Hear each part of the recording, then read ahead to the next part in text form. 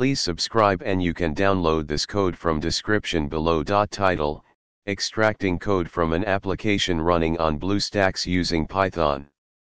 Introduction BlueStacks is a popular Android emulator that allows users to run Android applications on their desktop computers. In this tutorial, we'll explore how to extract code from an application running on BlueStacks using Python. This can be useful for reverse engineering, analyzing application behavior, or simply exploring the inner workings of Android apps.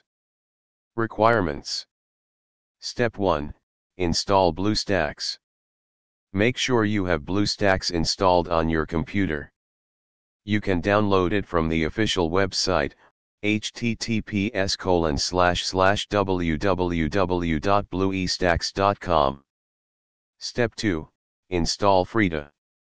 Frida is a dynamic instrumentation toolkit that allows you to inject scripts into running processes.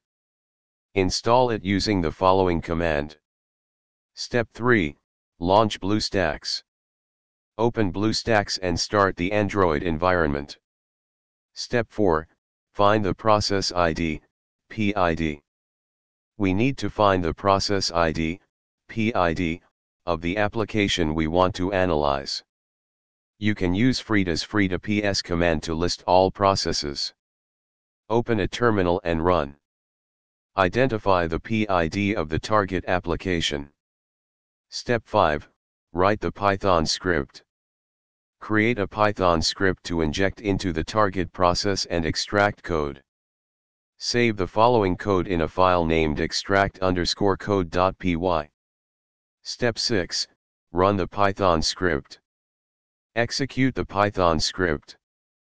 The script will attach to the target process, extract information about the specified class, and print method names. Note, replace your underscore package underscore name with the actual package name of the target app, and target underscore PID with the PID of the target process. Conclusion This tutorial demonstrated how to extract code from an application running on BlueStacks using Python and Frida. Remember to use this knowledge responsibly and comply with legal and ethical considerations when analyzing or modifying applications. ChatGPT